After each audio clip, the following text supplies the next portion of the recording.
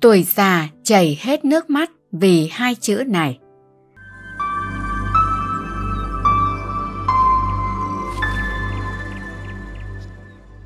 Xin kính chào quý khán thính giả đang theo dõi kênh Vạn Điều Ý Nghĩa.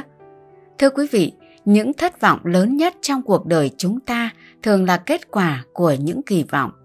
Khi chúng ta đặt quá nhiều kỳ vọng vào một ai đó hay một điều gì đó, đến khi sự tình không như ý muốn thì thất vọng càng nặng nề, giống như càng lên cao thì ngã sẽ càng đau hơn. Thà rằng chúng ta ở chỗ thấp ngay từ đầu thì đã có cuộc sống vững vàng. Đừng mơ mộng hay viễn tưởng ra bất kể chuyện gì, bởi ở hiện thực này chính là bớt mơ mộng, tỉnh mộng, đỡ hoang mang.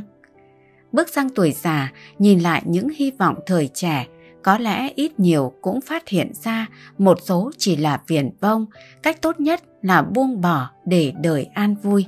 Để hiểu rõ hơn về vấn đề này, trước hết kính mời quý khán thính giả cùng lắng nghe câu chuyện 70 tuổi cả đời tích góp từng đồng, mong an dưỡng tuổi già, giờ ba con trai bắt bố ký giấy chia tài sản. Tôi năm nay 70 tuổi, ở ngưỡng gần đất xa trời, tôi chỉ mong cầu có một cuộc sống bình an, con cái trưởng thành hiếu thảo. Tôi có ba người con trai, Hồng An, Trường, chúng đều đã lấy vợ, sinh con và ra thành phố lập nghiệp. Mỗi tháng một lần, chúng nó sẽ thay phiên nhau về quê thăm tôi, hoặc có khi là cả ba cùng về vào những dịp lễ Tết dỗ chạp. Ngược dòng thời gian về trước, tôi sinh ra và lớn lên trong một gia đình nghèo nên chẳng được đi học. Ngày ngày theo chân bố đi làm mộc, từ đầu tóc đến quần áo, lúc nào cũng dính đầy bụi và mùn cưa. Vất vả là vậy, nhưng làm bao nhiêu cũng chẳng đủ ăn. Chưa kể các cụ ngày xưa toàn đẻ nhiều lắm. Dưới tôi còn có tới 6 đứa em.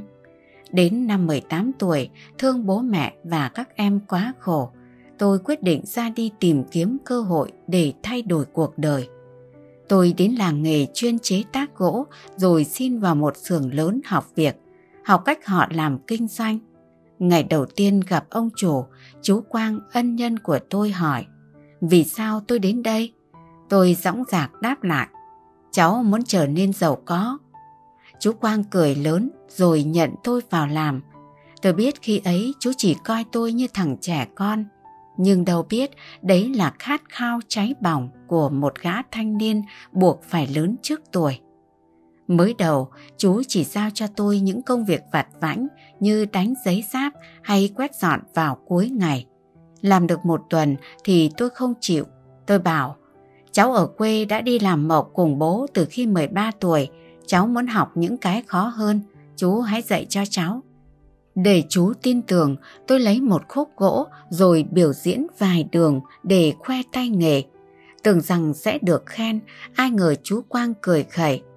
Thế mà cũng nói cho to, chưa lo học đã muốn làm thầy. Từ hôm đó, tôi vẫn phải làm các công việc như trước. Mỗi ngày chú Quang đều dành ra hai tiếng để dạy tôi thêm các kỹ thuật. Chú luôn nói rất thương tôi, trai trắng 18 tuổi mà người gầy nhom, tháng nào được vài đồng tiền công cũng đem về hết cho bố mẹ. Dần dần từ thợ phụ tôi được lên làm thợ chính. Từ những đồ vật đơn giản tôi đã chế tác được những sản phẩm tinh xảo, giá trị cao. Khi đã lành nghề, chú Quang lại dẫn tôi theo đi gặp khách hàng trong mỗi lần giao dịch để tôi được mở mang đầu óc và rèn luyện khả năng kinh doanh. Tuy không được học hành tử tế, nhưng ông trời phú cho tôi tính cách nhanh nhẹn, học đâu vào đấy, cùng khả năng ăn nói rõng rạc, đáng tin cậy. Cứ như vậy, tôi trở thành đệ tử số một của chú Quang từ lúc nào không hay. Đến năm 30 tuổi, bất ngờ một buổi tối chú gọi tôi đến và nói Này cháu đã học nghề được 12 năm, chú sẽ cho cháu vay một khoản tiền để cháu tự mở xưởng của mình và sẽ giúp cháu đầu ra tiêu thụ các sản phẩm ban đầu. Về sau, cháu hãy tự mình phát triển. Tôi vui sướng đến mức rơi lệ, cứ thế khóc nấc lên như một đứa trẻ. Suốt 30 năm qua, tôi đã cực khổ đến nhường nào để giờ đây mọi nỗ lực đã được đền đáp. Cuộc đời tôi giống như được chú dẫn dắt bước sang một trang mới, dù biết rằng phía trước còn lắm gian nan. Tôi trở về nhà và theo đúng kế hoạch đã vạch ra. Tiền tài danh vọng kéo đến tuy không quá rực rỡ nhưng cũng đủ để bố mẹ tôi nở mày nở mặt. Hơn nữa, tôi không chỉ đang tự cứu chính mình mà còn tạo công ăn việc làm cho những người khác. Năm 38 tuổi thì tôi cưới vợ, cô ấy sống cùng quê chỉ cách nhà tôi khoảng 1 km. Cùng xuất thân trong cảnh bần hàn nên chúng tôi luôn tự nhắc nhở lẫn nhau dù kinh tế có khá giả hơn cũng không được phung phí, phải tiết kiệm để sau này về già không phải làm phiền tới các con. Cô ấy lần lượt sinh cho tôi ba cậu con trai kháu khỉnh, nhưng bất hạnh thay khi cháu út được 5 tuổi thì vợ tôi qua đời trong một vụ tai nạn. Nếu ai trong tình cảnh của tôi thì sẽ hiểu gà chống nuôi con vất vả đến nhường nào. Tôi vừa phải lao vào kiếm tiền để đảm bảo cuộc sống cho các con, vừa phải gánh vác trọng trách của một người mẹ. Đã rất nhiều lần mọi người khuyên tôi nên cưới vợ mới, nhưng tôi đều từ chối. Tôi hiểu các con tôi cần bố đến nhường nào. Thời gian thấm thoát qua đi, các con tôi đều được học hành tử tế, ra trường có công ăn việc làm và lập gia đình. Đến tận lúc này, khi tóc tôi đã chuyển dần sang màu bạc, thì tôi mới thực sự được nghỉ ngơi đúng nghĩa. Hoặc là không, cũng có thể không hẳn là vậy. Tháng 8 âm lịch vừa qua là ngày rỗ của vợ. Các con tôi đều đưa cả gia đình nhỏ của chúng về quê để thắp hương cho mẹ. Sau khi ăn uống xong, tôi đang nằm trong phòng ngủ thì thấy con cả gọi bố xuống dưới nhà họp gấp. Hùng nói, Bố ơi, lúc nãy con mở tủ thờ ra thì phát hiện tờ giấy di chúc này. Bố lập từ bao giờ mà không nói cho chúng con biết. Hơn nữa, bây giờ con mới biết bố có nhiều tài sản như vậy. Tiền bạc thì bố đem đi quyên góp cho các trung tâm, đất đai thì bố hiến cho nhà chùa. Có phải bố già rồi nên hồ đồ rồi không? Tiếp lời, thằng con thứ hai của tôi tên Trường nói. Trời ơi, thật không hả anh? Sao bố lại có nhiều tiền thế chứ?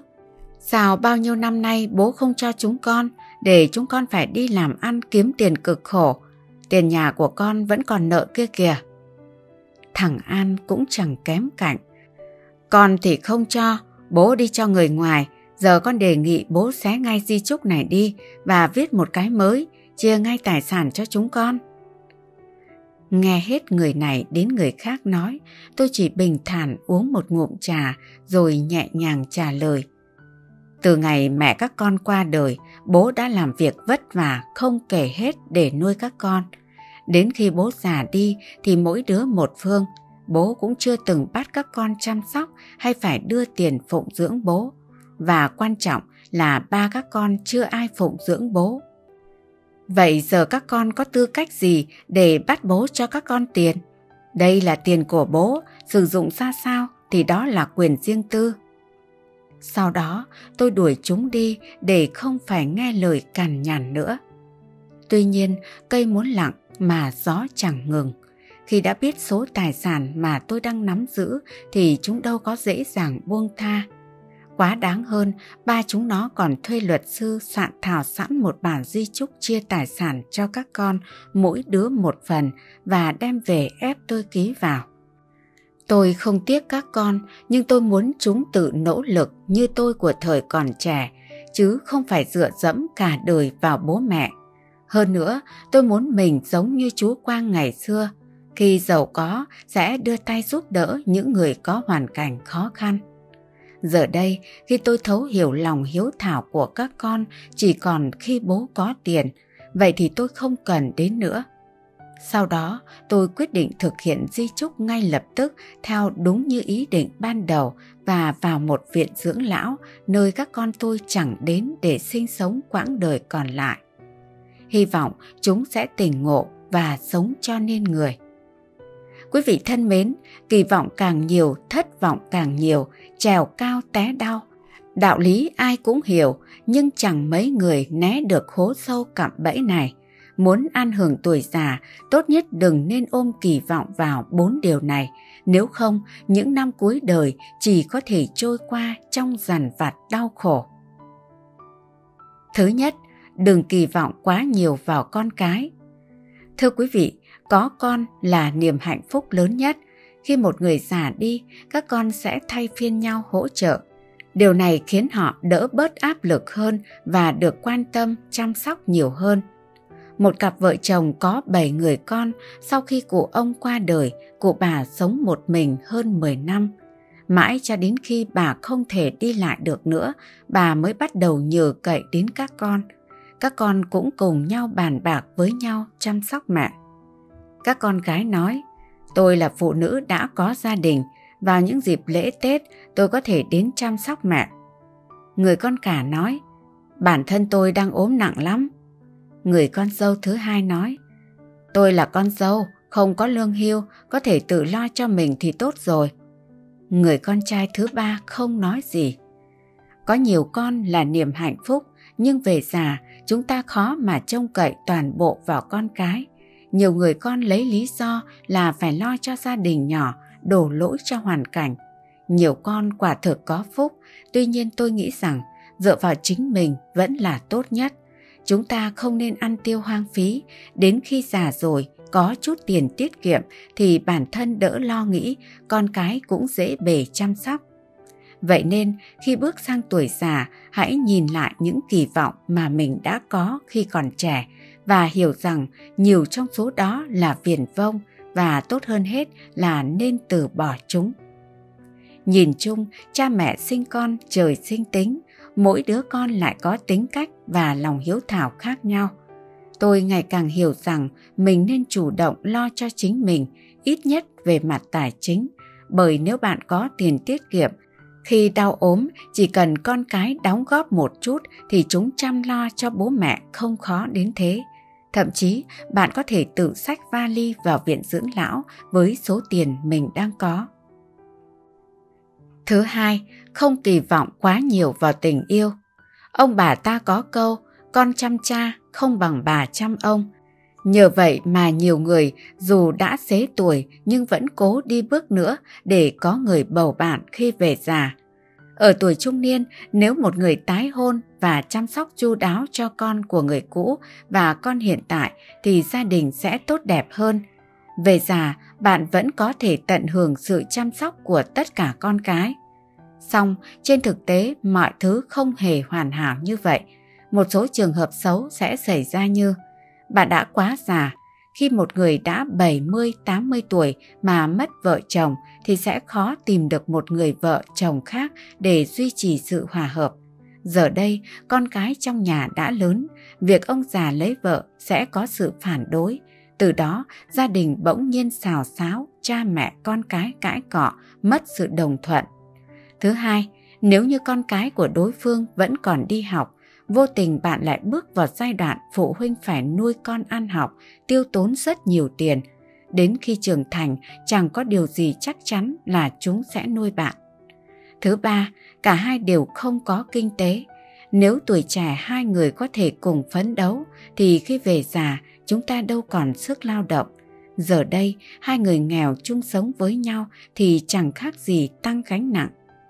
Thứ tư, tuổi già thiếu tỉnh táo khiến bạn dễ bị lừa, vừa mất tình lại mất tiền.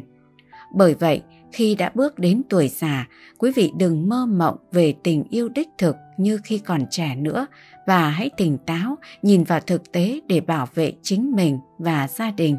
Bởi tiền quan trọng hơn tình yêu, chỉ nên tìm một người có thực lực để dựa vào chứ không chỉ vài lời quan tâm hão huyền.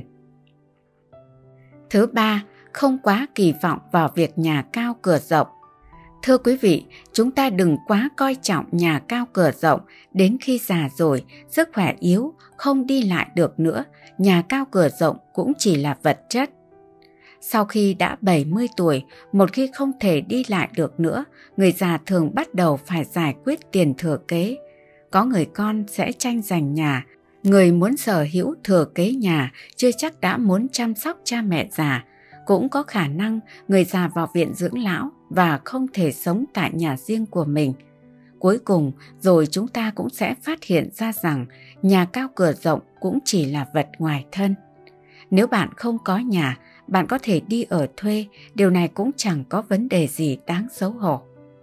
Nhiều người khi còn trẻ chỉ biết cố gắng kiếm tiền, làm việc tới đổ bệnh để tích cóp mua nhà.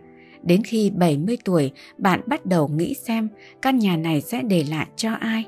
Nếu đóng góp cho xã hội, các con sẽ oán thán.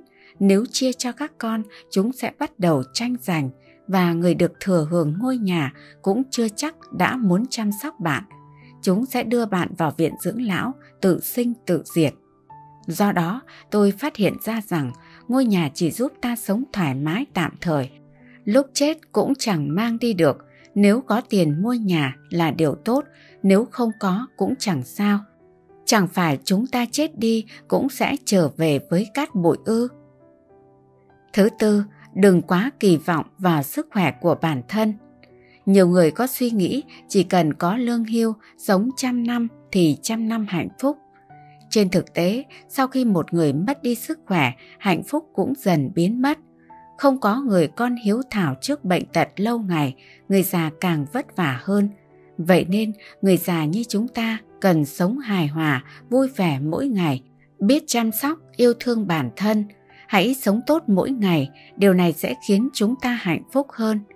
Sau khi một người mất đi sức khỏe, hạnh phúc cũng dần biến mất.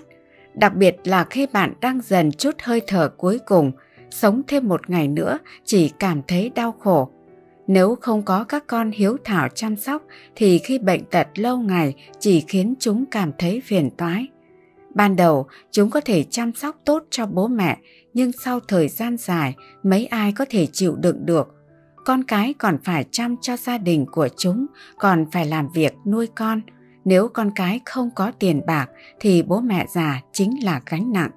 Ngay cả khi bạn có người giúp việc chăm sóc thì cũng có lúc người ta trở nên cáu kỉnh, xấu tính. Bởi vậy, khi đã 70 tuổi tôi mới thấy nằm trên giường 3 đến 5 năm sẽ kéo dài tuổi thọ thêm vài năm nhưng có ích gì. Ngồi trên xe lăn và di chuyển xung quanh giống như một khúc gỗ. Hãy sống tốt mỗi ngày và đừng theo đuổi tuổi thọ. Điều này sẽ khiến bạn hạnh phúc hơn từ bên trong. Quý vị thân mến, về già đừng quá trông mong, kỳ vọng chỉ khiến bản thân thêm phần mệt mỏi. Hãy sống theo năm cách sau để có thể cảm nhận được hết niềm vui sống của tuổi già. 1. Làm điều bạn yêu thích.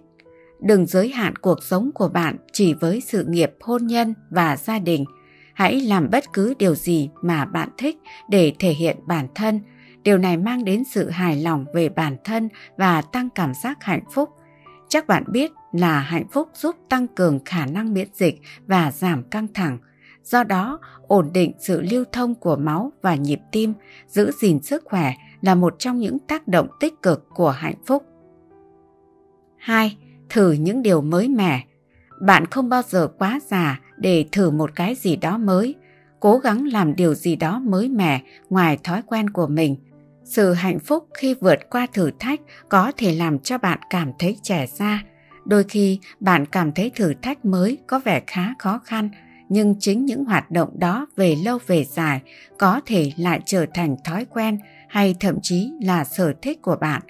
Nếu có cơ hội, hãy đặt bản thân vào những điều mới mẻ để cuộc sống thêm tươi trẻ và có ý nghĩa hơn. 3.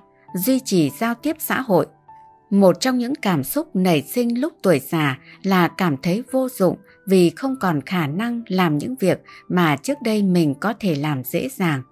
Giữ liên lạc với bạn bè cũ sẽ giúp bạn quên đi những cảm xúc đó. Bạn không chỉ có bạn bè để ăn mừng những khoảnh khắc hạnh phúc mà còn có nhau khi hoạn nạn khó khăn. 4. Sống khỏe mạnh Chúng ta thường khao khát có một cuộc sống khỏe mạnh và hạnh phúc nếu bạn chưa biết bắt đầu từ đâu, hãy thử chú ý hơn đến dinh dưỡng và sức khỏe của bản thân và gia đình. Những thực phẩm bổ dưỡng thường giúp cơ thể chúng ta trở nên khỏe mạnh hơn và hấp thu tốt hơn. Khi một người ở lứa tuổi trung niên, họ thường rất chú ý đến vấn đề thực phẩm bởi chế độ dinh dưỡng cho người cao tuổi đôi khi không giống với những người trẻ.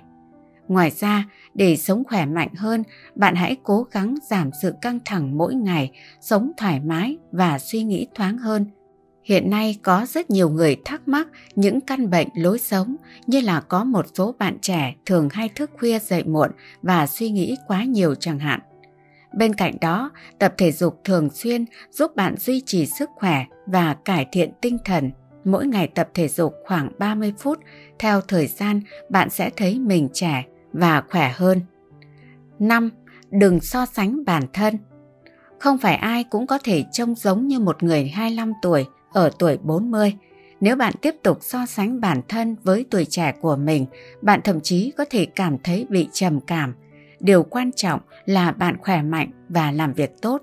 Những thay đổi thể chất khi bạn già đi là không thể tránh được. Nhưng điều đó không có nghĩa là tâm hồn của bạn cũng phải thay đổi đúng không? Bạn có thể sống hạnh phúc và có ích ở tuổi già. Hạnh phúc sẽ ánh lên trên gương mặt bạn và khiến bạn đẹp đẽ. Ngược lại, nếu bạn cảm thấy không hạnh phúc, điều đó sẽ phản ánh trong cuộc sống hàng ngày. Hãy nhớ rằng bạn chỉ già nếu bạn cảm thấy như vậy. Hãy bắt đầu ngay hôm nay để thấy mình luôn tươi trẻ, khỏe mạnh và có một kỳ nghỉ hưu đáng mong đợi quý vị nhé. Và trong phần cuối của chương trình hôm nay, mời quý vị và các bạn cùng lắng nghe câu chuyện Lửa trên sông. Chiều hôm nay ở quán, chuông điện thoại réo, tiếng Thùy sụt xịt trong điện thoại. Hoàng giật mình. Một tuần qua nhanh thế nhỉ? Hoàng lầm bầm, vội vã trở dậy, vội vã dắt xe quay ngược lên đường. Thư biết Hoàng sẽ cứ thế mà đi, không nói lời chia tay, không bịn dịn ngoái lại. Ban đầu Thư sợ cảm giác hụt hẫng chống hoác khi chia tay. Lạ thật, có còn trẻ nữa đâu mà vẫn cứ run, cứ mong manh khi không được nghe những lời đại loại như Em đừng buồn nhé, anh sẽ nhớ em nhiều. Em gắng đợi, anh sẽ thu xếp nhanh mọi chuyện để về với em. Anh tin chúng mình sẽ hạnh phúc. Hoàng thường nói điều đó khi gặp nhau, nhưng chia tay thì không. Người đàn bà dù bước sang tuổi 30 rồi, khi yêu vẫn chỉ là một cô gái 18 tuổi. 18 tuổi chia tay ảo ạt nhớ, còn 30 tuổi nghĩa là sẽ chiêm nghiệp âu lo, gặp nhấm nỗi cô độc chợt vỡ hoác ra như lúc này. Hoàng đã hứa tối nay Hoàng sẽ ở lại với Thư. Ai bảo nước mắt thì thay đổi được gì, nước mắt Thủy đã gọi hồn Hoàng, giam giữ Hoàng vào cái gọi là gia đình. Khi Thủy khóc, Hoàng không hồn vía nào để đắm mình vào những phút giây hạnh phúc bên Thư. Hoàng không đủ độc ác để làm điều Hoàng muốn. Thư cúi gằm mặt vào ly cà phê đen hút, đắng loang đầu lưỡi. Nước mắt Thư trôi ngược vào trong ngực, ức nghẹn. Hoàng hôn buông những vạt loang lổ vào khoảng không hun hút trước mặt. Ở phía đó, dòng ngàn mọ lặng chảy, những con thuyền xuôi trèo mang những đốm lửa hồng trôi trong sương. Những đốm lửa hát ra những cuồng sáng nhỏ nhấp nháy, thắp lên sự bình yên nao lòng của một gia đình, một cuộc sống đang phập phồng thở. Thường thì tới lúc đó, cả Hoàng và Thư không ai bảo ai sẽ cùng đứng lên – đã tàn ngày khi những đốm lửa trên sông cùng trôi về tụ lại trên bến, nghĩa là một ngày làm việc đã kết thúc. Bây giờ lũ trẻ con trên thuyền mới được phép chui ra nhảy lon ton từ thuyền này sang thuyền khác. Cánh đàn ông ngồi bằng tròn đầu mũi thuyền rít thuốc lào. Đàn bà hí húi nhóm bếp làm cơm. Khói bếp từ thuyền òa xuống mặt sông bay la đà một màu trắng đục. Quán nằm tranh vênh ven rìa ngàn mỏ, phía trên là cầu phổ, từ cầu nhìn xuống quán rơi hút vào bóng tối thăm thẳm, sâu hút. Phía sau, bạt ngàn rừng phi lao chạy ven dòng ngàn mọ thơ mộng, chìm vào sự yên tĩnh đậm đặc, chỉ có những ngọn đèn dầu nhỏ xíu, với đốm lửa hồng bé bằng hạt lạc kiên nhẫn cháy trong chụp đèn thủy tinh độ bằng quả cao đặt ở mỗi bàn đánh dấu sự tồn tại của những trái tim đang đập điên loạn trong đêm. Ngọn đèn là vật chứng kiến, sẻ chia, chiêm nghiệm. Những lúc không chịu nổi, Hoàng hẹn Thư tới đây, hai người ngồi với nhau hàng giờ, ngắm hoàng hôn, ngắm dòng người cuộn chảy trên cầu. Mấy năm rồi, từ ngày hai người yêu nhau, Hoàng vẫn có thú đếm lửa trên sông. Bao nhiêu đốm lửa là bấy nhiêu chiếc thuyền. Thêm một đốm lửa là thêm một gia đình nhập cư vạn trải. Tuần trước, Hoàng phát hiện có cặp vợ chồng trẻ vừa xuống thuyền. Đốm lửa mới xuất hiện cháy to nhất, thường về muộn nhất, đậm sâu trong bến. Hoàng quả quyết. Cô vợ không phải dân vạn trải nhà nòi, da trắng, chân tay thon, mặt hoa da phấn, trông như con gái thị thành. Chắc là bỏ nhà đi theo chàng Trương Chi đây. Quả thật, đêm khuya có tiếng sáo xéo sắt vang lên phía bến sông. Thư nghĩ chắc của chàng trai cưới được vợ đẹp đang khoái đời. Tiếng sáo giạt dịu tha thiết và chứa chan hạnh phúc. Những lúc như vậy, Hoàng ôm chặt Thư vào lòng, đắm mình trong tiếng sáo du dương ấy. Mùa này, ngàn mọ nước dâng lục đờ, đám cỏ nước xanh non ven sông. Những cơn mưa đêm mang dấu ấn tiết đông hàn bất chợt đến, quán dùng mình đón những hạt mưa to tròn thưa thớt buốt lạnh. Thời tiết thất thường, quán không có mái che, đâm ra thưa khách. Càng ít người tới, Hoàng và Thư càng thích đến quán ngồi. Ở tuổi họ, câu chuyện không phải là cái cớ. Chí ít, Thư là người cô độc hay cô luôn cảm thấy sự cô độc ấy sừng sững đáng sợ. Còn Hoàng, dĩ nhiên anh thèm vô cùng những giây phút bên Thư dù chỉ để lặng yên ngắm nhìn lơ đãng mọi thứ diễn ra xung quanh mình. Với Hoàng, đó là giây phút quý báu trong cuộc đời anh. Hoàng nâng niu, nắm giữ và trân trọng. Hoàng thừa nhận đấy là khi Hoàng đang hạnh phúc, chỉ ở bên Thư Hoàng mới cảm nhận thật trọn vẹn về điều đó. Tình yêu muộn màng và chớ trêu của Hoàng là điều không thể giải thích nhưng nó nuôi sống Thư trong suốt những gì tiếp theo hay còn lại ở đó. Thư víu vào sự tĩnh lặng sừng sững của cây cầu hay nỗi thao thiết lặng chảy của dòng ngàn mọ đêm đêm chờ mình sau tiếng mái chèo khua lách cách trên sông để thở, để bình tâm trở lại. Dường như khung cảnh đó cả những điều ngỡ vụn vặt cũng làm Thư run lên Hôm qua Hoàng đã cầm lấy tay Thư đặt lên ngực mình. Thư ơi, chúng mình không còn trẻ nữa để mà phung phí mọi thứ. Hoàng không thể sống mà không có Thư. Hoàng không chịu nổi nếu một ngày nào đó Thư bước ra khỏi cuộc sống của Hoàng. Hoàng vừa nói vừa chìa cho Thư lá đơn ly dị Hoàng đã ký. Thư hãy tin ở anh, anh buộc phải làm tất cả những điều này để có Thư mình cưới nhau em nhé. Anh mong muốn điều đó hơn lúc nào hết. Bàn tay Thư lạnh giá và run rẩy. Ừ nhỉ, bao nhiêu lần cả Hoàng và Thư tập xa nhau, họ đã nếm trải cuộc sống không có nhau, không cà phê chiều cuối tuần, ngồi đếm lửa trên sông, không có gì cả. Bao nhiêu lần cả hai đều vùng dậy quay quắt đi tìm nhau trong nỗi cô độc rợn người, trong sự sợ hãi kinh khủng khi nghĩ rằng mình sẽ mất nhau vĩnh viễn. Với Thư, cuộc sống của một người đàn bà không có trẻ, không niềm vui, không nỗi buồn, không hạnh phúc. Một cuộc sống nhàm chán vô vị như nó từng xảy ra với triệu triệu số phận khác. Có gia đình đấy mà như không có, hạnh phúc đấy mà không hạnh phúc. Lúc đó Thư chỉ muốn đổ òa vào Hoàng, đỡ lấy gương mặt anh, hôn ngấu nghiến giải điên lên mắt anh, môi anh, ngực anh rồi khóc. Thế còn Thùy, Hoàng quả quyết, phải vậy thôi, anh quá mệt mỏi với những bổn phận của một người chồng tốt, anh có lỗi với Thùy, với con. Tuổi trẻ thường sai lầm bởi không phân biệt được tình yêu với thói quen của sự ham muốn. Anh cảm ơn em vì chính em đã giúp anh nhận ra điều này. Thư không hy vọng một ngày Hoàng nói những chuyện đó với Thư. Nhìn mái tóc không còn xanh của anh, lòng Thư đau nhói. Hoàng có thể làm điều đó ư? Phá vỡ ngôi nhà đã xây kiên cố vững chắc để đổi lấy cái mong manh là Thư. đánh đổi danh dự gia đình, lương tâm để đổi lấy hạnh phúc ít ỏi mà Thư mang lại. Không bao giờ Thư chịu hiểu Hoàng đã yêu Thư nhiều đến thế, Hoàng sẵn sàng hy sinh tất cả vì Thư. Đúng ra, Thư chờ đợi điều này quá lâu rồi.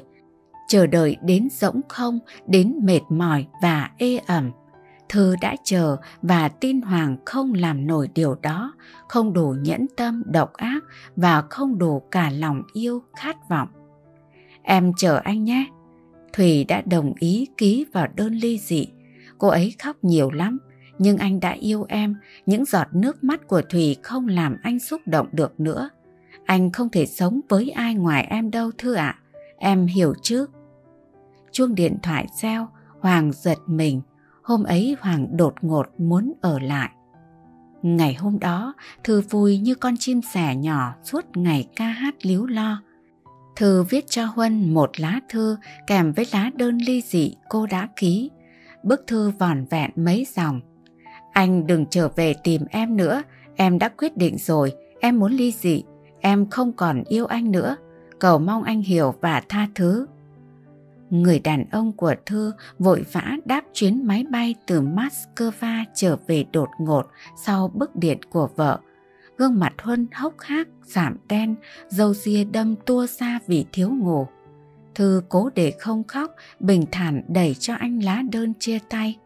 Huân rít thuốc lá suốt đêm, Thư nằm quay mặt vào tường ôm cô Tuấn giả vờ ngủ. Đêm ngưng đặc lại như có thể cầm lấy dao và sắn ra từng miếng đen nhánh. Giọng Huân khàn khàn. Em không chịu nổi xa anh hay em đã có người đàn ông khác? Không phải lần đầu tiên Huân hỏi Thư như vậy. Cũng không phải lần đầu Thư muốn điều đó. Giữa hai người vốn không có gì chung, khoảng trống cứ lớn dần ra, sâu hoác khi Huân sang bên kia kiếm sống tình yêu khắc khoải và cam chịu của Huân đã đè chịu Thư xuống, nhấn Thư chìm ngập vào gánh nặng của lòng thương hại và thói quen yên phận. Cho đến một ngày, Thư gặp Hoàng, những chán trường mệt mỏi bỗng bật tung ra. Người chờ Thư ở quán không phải là Hoàng. Thư choáng váng xa sầm mặt mày, lá đơn ly dị rơi khỏi tay, bay loạn choạng trên đất. Thư cố đuổi theo, cố chộp lấy, cắn răng để khỏi run lên vì nước mắt. Người đàn bà nhẫn chịu và đau khổ ấy đã mang hai đứa con lặn lội hơn 100 km đi đến đây tìm Thư.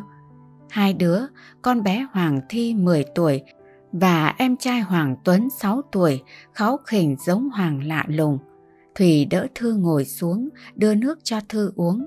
Kỳ lạ thật, không có sấm sét giận dữ, không chửi bới, thù hận mà chỉ có nước mắt. Người đàn bà ấy lại khóc, không phải qua điện thoại với Hoàng mà ngay trước mắt Thư, không xấu hổ giấu giếm. Thả Thủy cứ vồ lấy Thư, cắn xé Thư, cào cấu, mạt sát Thư cho Hà. Có lẽ Thư sẽ dễ chịu hơn.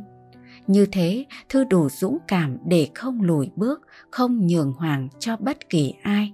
Đằng này, người đàn bà ấy chỉ khóc, cái gì khiến bà ta phải quỳ gối chịu đựng như thế? Tình yêu với Hoàng, với các con hay lòng yêu ích kỷ bị tổn thương quyết giữ bằng được gia đình? Hay vì lòng thù hận, cô ta sẵn sàng vứt bỏ lòng kiêu hãnh để đạt được cái mình muốn? Đứa con gái Hoàng Thi ngước cặp mắt oán giận nhìn Thư. Nếu cô lấy mất bố của cháu thì chị em cháu sẽ xem cô là mụ phù thủy độc ác nhất thế gian. Cô sẽ không có bạn, không ai chịu chơi với mụ phù thủy xấu xí đâu. Bé Hoàng Tuấn hồn nhiên thêm vào câu nói của chị nó rồi nhìn Thư thách thức. Mãi lâu sau thì mới buông lời. Nếu ở vào địa vị tôi, chị sẽ làm thế nào đây? Làm gì với một người chồng không còn yêu mình và những đứa con luôn cần có bố mẹ? Chiều hôm đó, Thư lang thang đến bờ sông. Chiều muộn, Thư phát hiện thiếu mất một chiếc thuyền không trở về. Thuyền của đôi uyên ương trẻ. Ờ, thì ra lâu lâu không ai nghe thấy tiếng sáo. Mấy tuần trước cả Hoàng và Thư cứ thấy thiếu thiếu cái gì không rõ là tiếng sáo, tiếng sáo buông khi chiều tà giặt dìu bay xa khoan nhặt tha thiết trong đêm trăng sáng. Mảnh vỡ khuyết không bao giờ vá được, quá khứ như lá vàng trên cỏ. Khi anh nghĩ về cô gái ấy thì em là người khổ đau. Khi anh nghĩ về bên em thì cả ba chúng ta đều khổ. Thư chợt nhớ đến những câu thơ không đầu không cuối, một thời bỏ quên trong sổ tay thiếu nữ. Thẫn thờ dõi mắt theo những đốm lửa hồng còn lại trôi trên sông. Những con thuyền chờ những ngọn đèn ngược về phía ngàn rồi xuôi về phía bể. Những con thuyền không ngủ mang những hạnh phúc trôi lơ đãng trên sông. Có ai biết được những đốm lửa đang trôi trên sông ngàn mỏ kia liệu có chỗ cho hạnh phúc theo cùng? Ai biết được qua đêm trường ngọn đèn nào sẽ tắt trước cơn gió nổi và có bao nhiêu ngọn đèn sót lại chống chọi qua mưa bão để đợi chờ bình minh đang dạng lên. Câu chuyện đến đây là kết thúc. Kênh Vạn Điều Ý Nghĩa xin kính chào tạm biệt quý vị. Hẹn gặp lại quý vị trong những video sau. Kính thưa quý vị, để tiếp theo chương trình Xin kính mời quý vị và các bạn cùng lắng nghe. Tuổi già, xin đừng nhúng tay vào ba việc này. Quý vị thân mến, cuộc đời luôn tồn tại những biến cố bất đắc dĩ mà không ai có thể lường trước được. Trong số đó, có những rủi ro do chính bản thân mỗi người tự chuốc lấy. Thế nên khi đã về già, chúng ta nên học cách đối xử tốt với chính mình – cho bản thân cơ hội hạnh phúc, đừng quá ôm đùm hay quá cầu toàn trong mọi việc. Đồng thời, để không tự hứng lấy những phiền phức khi về già, dù bạn là người sống vô ưu, vô lo đến đâu thì nhất định phải khắc cốt ghi tâm ba loại việc không nhúng tay vào sau đây. Hãy cùng vạn điều ý nghĩa lắng nghe và chiêm nghiệm nội dung sau đây quý vị nhé. Thứ nhất, nuôi dạy cháu. Khi mới về làm dâu, tôi rất quý bố mẹ chồng. Có thể mọi người không tin khi mà chuyện mẹ chồng con dâu hợp nhau là chuyện lạ. Tôi thấy mình may mắn vì được mẹ chồng quan tâm, chăm sóc như con gái. Khi mới lấy chồng, tôi gầy lắm, chưa được 40 cân. Chính bà đã đi cắt thuốc, hàng ngày sắc thuốc cho tôi uống. Chúng tôi ở riêng, nhưng buổi trưa hai vợ chồng lại về nhà bố mẹ ăn cơm vì cơ quan cũng khá gần. Khi đi làm lại mang theo chai nước thuốc mà bà đưa cho. Khi tôi mang thai, cả nhà ai cũng rất vui, ai cũng quan tâm chăm sóc tôi. Gia đình tôi thì ở xa nên mẹ đẻ cũng ít có dịp được quan tâm chăm sóc tôi. Nhưng ngược lại, tôi được bà chăm sóc vừa chăm cho con dâu cũng là chăm cho cháu nội của bà. Từ khi tôi có thai, bà thường xuyên sang nhà tôi ở. Bà bảo vợ chồng tôi ít tuổi, không có kinh nghiệm. Bà sang để chỉ bảo.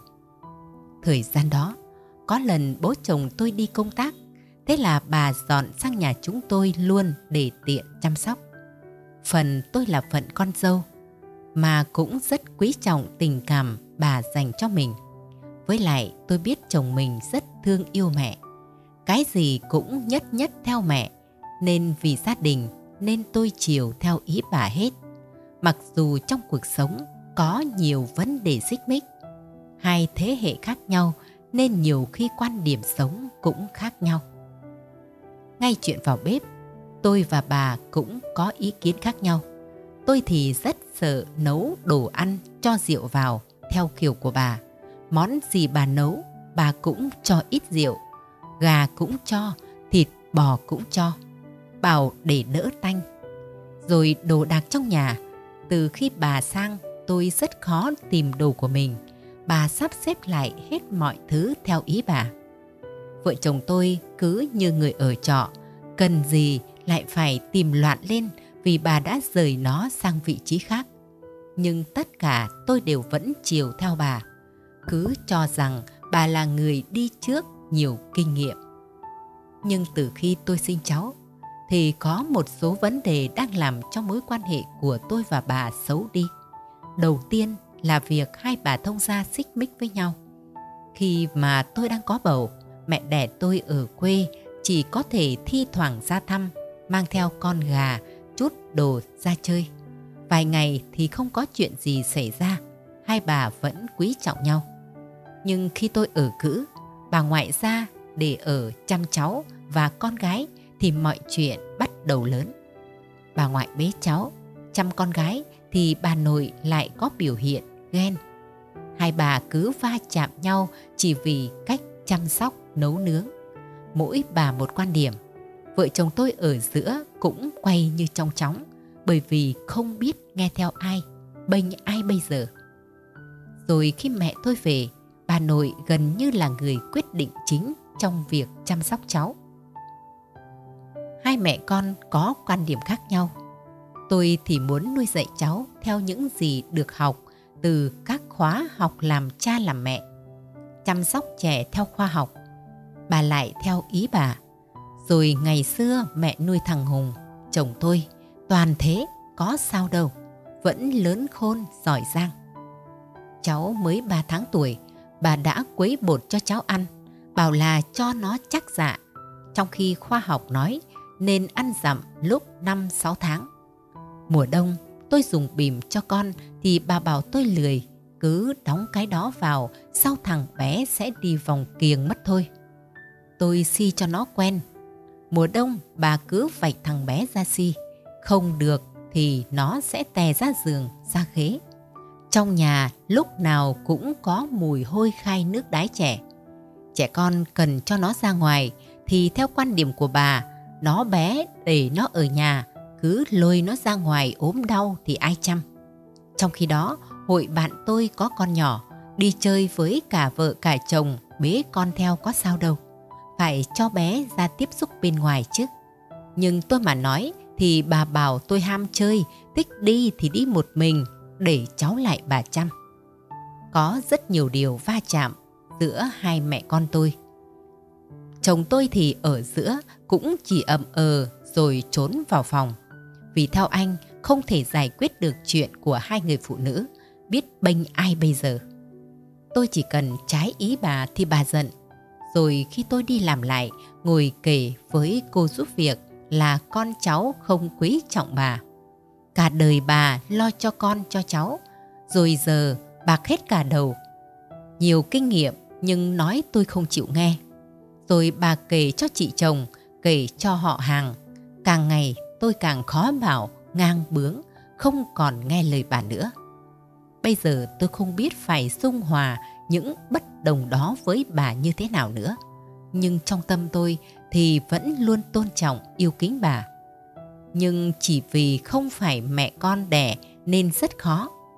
Nếu tôi nói với mẹ mình như vậy hay thể hiện quan điểm riêng của mình thì sẽ không sao. Nhưng là mẹ chồng thì bà lại không hiểu cho là tôi cãi ngang. Khi là mẹ trẻ con, tôi cũng muốn khẳng định vai trò và trách nhiệm của mình trong gia đình riêng của mình.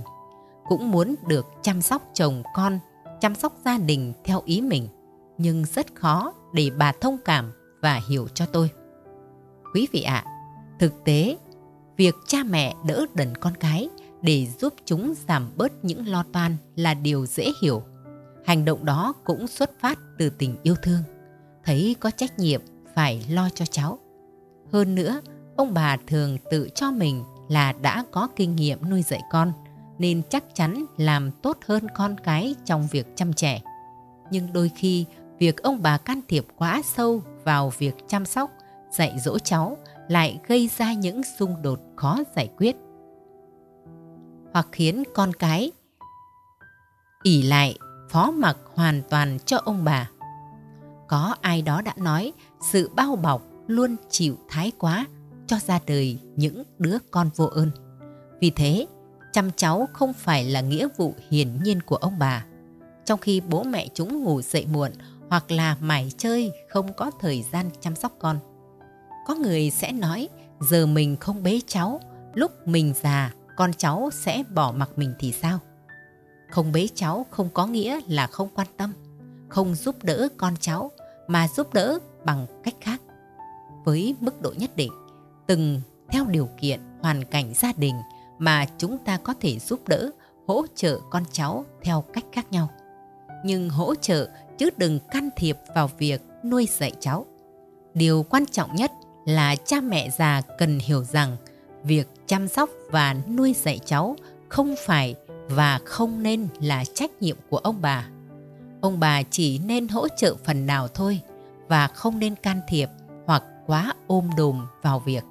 Như thế sẽ tạo cho con cơ hội trưởng thành mà bản thân lại có thời gian nghỉ ngơi, giữ gìn sức khỏe.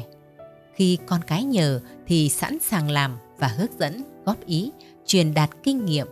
Còn lại hãy để chúng là người quyết định. Thứ hai, đời tư của con.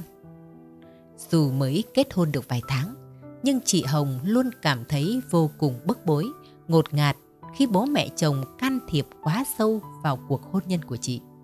Ban đầu, ông bà yêu cầu con cái phải gọi điện về hỏi han thường xuyên.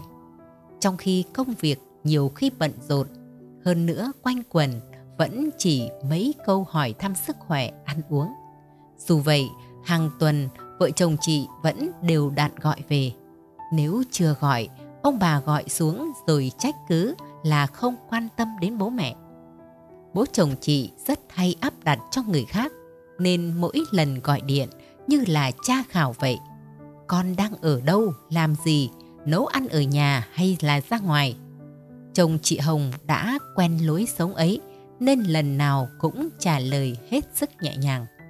Còn chị thì chị cảm thấy thực sự không thoải mái. Chồng chị Hồng hay đi công tác xa, thỉnh thoảng mới lại về nhà. Vợ chồng lại mới cưới vài tháng nên vẫn chưa có con. Dù vậy, ông bà vẫn mấy lần nhắc nhở sớm đi khám chữa. Biết bố mẹ sốt ruột có cháu, chồng thì đã chủ động gọi điện thông báo để ông bà không hỏi nhiều, nhưng mẹ chồng có phải không hài lòng. Sau đó là chuỗi ngày ông bà giáo huấn con dâu. Việc hương khói ở nhà riêng chị Hồng luôn làm đều đặn, đầy đủ, lau dọn bàn thờ sạch sẽ. Nhưng cứ hễ gặp hay gọi điện là ông lại hỏi có thắp hương mùng 1 và rằm không? Dặn chị phải nhớ mà làm. Ban đầu chị Hồng thấy như lời nhẹ nhàng, nhưng sau rất nhiều lần bố hỏi như vậy, chị cảm thấy khó chịu và dứt khoát nói với ông rằng bố không phải nhắc con việc đó nữa, con luôn nhớ và cũng đầy đủ mà. Tưởng ông đã hiểu rồi, nhưng tối đó khi chồng gọi điện về, ông lại dặn anh phải nhắc vợ, khiến chị Hồng cảm thấy không tin tưởng. Cuối tuần vừa rồi, chị Hồng đi du lịch với mấy người bạn thân. Biết chuyện, ngày hôm sau, ông bà gọi điện cho chị giáo huấn về việc phải chăm chồng, phải trợ búa nấu nướng cho chồng ăn. Cuối tuần phải tranh thủ ở nhà mà dọn dẹp nhà cửa. Chị Hồng cho rằng mình chưa bao giờ bỏ những công việc đó nhà cửa luôn gọn gàng sạch sẽ. Hơn nữa, đó là trách nhiệm của cả hai vợ chồng. Nhưng ông bà mặc nhiên cho rằng mình chỉ phải lo toan. Đi làm cả tuần, có bữa cuối tuần tranh thủ đi chơi với bạn mà bị nói như vậy khiến cho chị thực sự mệt mỏi và chán nản. Rồi ông bà lại tiếp tục điệp khúc hỏi han, nhắc nhở, trách móc, bảo chồng phải nhắc vợ thế này, thế kia. Điều đó khiến cho chị Hồng cảm thấy cuộc sống riêng của hai vợ chồng bị kìm kẹp, kiểm soát quá mức. Quý vị ạ, trong con mắt của rất nhiều bậc làm cha làm mẹ, con cái lúc nào cũng chỉ là những đứa trẻ còn non dại, cần phải theo sát, bao bọc, chỉ bảo dạy dỗ. Điều đó vô tình khiến cha mẹ can thiệp quá sâu, quá thô bạo vào đời sống riêng tư của con cái. Nghĩ hộ quyết định hộ, làm hộ con cái dù chúng đã có gia đình riêng. Hậu quả là cha mẹ đã làm hạn chế tính độc lập, tự chủ của con cái. Thậm chí khiến cho mối quan hệ giữa cha mẹ và con cái diễn biến theo chiều hướng tiêu cực. Con cái có thể ngày càng lệ thuộc sâu sắc vào cha mẹ hoặc cảm thấy bí bách, khó chịu, có tâm lý muốn thoát ra ngoài và ngày càng xa cách cha mẹ những bậc làm cha làm mẹ khi can thiệp vào cuộc sống riêng của con đều nói rằng họ làm thế xuất phát từ tình yêu thương, lo lắng cho con chứ chẳng có ý gì. Và đôi khi họ nghĩ đó là sự quan tâm chứ không phải là can thiệp. Suy cho cùng, chúng ta đã dày công dạy dỗ giáo dục cho con làm công việc con yêu thích, sống ở nơi con muốn, kết hôn với người con yêu thì cũng để cho con tự chăm lo, vun vén cuộc sống của nó.